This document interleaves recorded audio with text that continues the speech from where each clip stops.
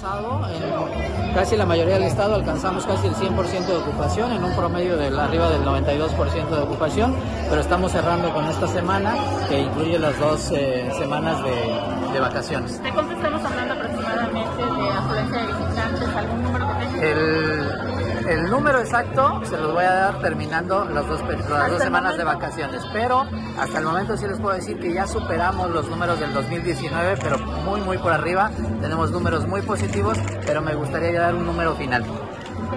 Muchísimas gracias. En cuanto a temas de las fiestas, eh, ¿cómo van con la coordinación del tema del El tema ahí es que tenemos que trabajar de manera coordinada y apoyar para estas festividades. ¿Hay promoción para el carnaval? Muchísima promoción. Hoy vamos a centrarnos en el Salsa Fest, que es un evento de suma importancia, y también vamos a apoyar el carnaval y todas las fiestas de todos los ¿Qué ayuntamientos. expectativas tienen con el expectativas que ahorita también les vamos a dar los números. La sal- presentación, vamos a superar los, eh, los números de los